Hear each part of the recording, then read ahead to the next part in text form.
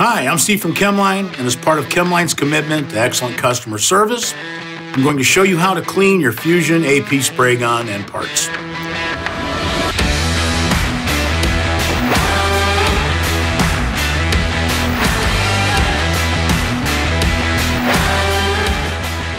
You want to start out with two buckets of solvent, MEK or acetone in them.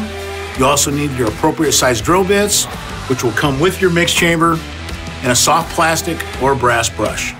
You'll also want white lithium grease on hand for when the parts are clean and you're ready to reassemble the gun.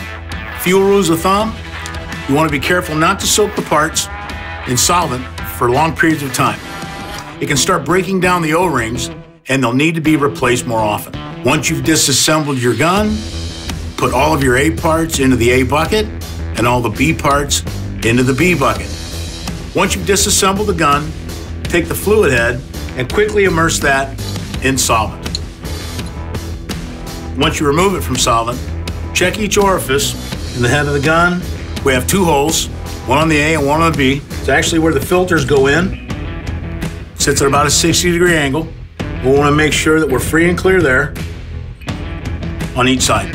When we're done with that, we'll take our brush and we'll clean out filter housing itself where it fits in, rinse it with some clear solvent, and we'll set it aside to dry. Once dry, we'll put a little lube on our hands and we'll rub a thin layer on that part. When you use a brush to clean it, always make sure we're using a soft plastic or a brass brush. The reason we don't want to use a hardened steel brush is because they remove paint quickly. If we're removing paint from inside the orify, the O-rings will not fit accurately and we'll have a leak. We always want to use something soft to clean our gun with. After we clean the head of our gun, we want to clean the filter cartridge parts very well, including the cartridge itself with MEK or acetone. After we do that, we'll do the same to clean the side seal cartridge parts, and then we'll be ready for reassembly. When we replace the mix chamber, we'll also want to change side seals. Take the 60 mesh filter off, put that into the B side, move the post and the ball, and the cartridge itself, side seal and side seal cartridge. Good and filter housing. Clean MEK. Use a brush when needed to remove any grease or any built up poly. Filter cartridge itself.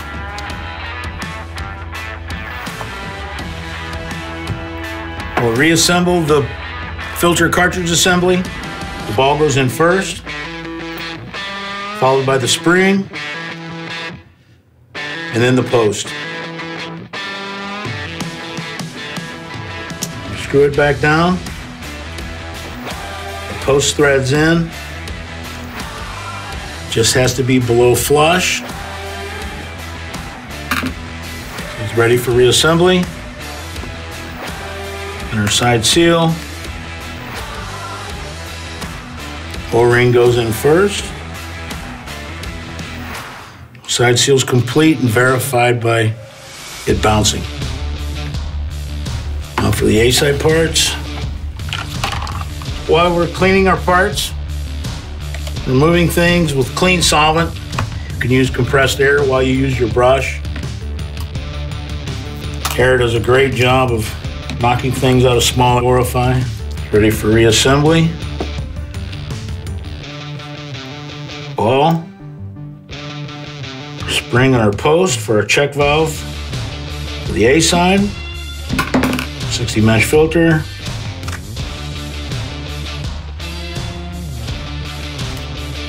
Side seal cartridge. Side seal spring. And the actual side seal itself. A lube on the O-ring. Place it, verify. Good to go.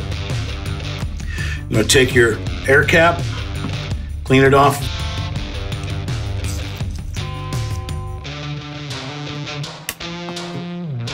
Whenever we replace the mix chamber, we also want to change our side seals. You don't have to replace the whole cartridge, but you do have to replace the side seal button itself. We do this because it's intimate contact between the side seal and the mix chamber. They're machine parts, so if one is wearing, the other is too. Here we can clean this real quick. Solvent from front and back. Run the drill bit down it quickly. And again, verify. We can see through it. We're good to go. Just get a thin film of white lithium as well. You can also put ultrafine sandpaper or emery cloth on a flat surface for a chamber that's scratched to resurface it. Most mixed chambers will last approximately 20 drum sets. If you notice any scratches, you should replace it or refinish it. Over time, the orifice is going to expand just through erosion. It's hardened steel and it will wear out. They do not last forever. We're going to throw your mix ratio off if one orify gets larger than the other. You should always check that with your drill bit. Seals should be replaced every 20 drum sets, as I said before. For a quick clean, you don't need to take O-rings off. For a bigger, deeper clean, if you had a catastrophic gun problem, we want to puff all the O-rings for a deeper, longer soak.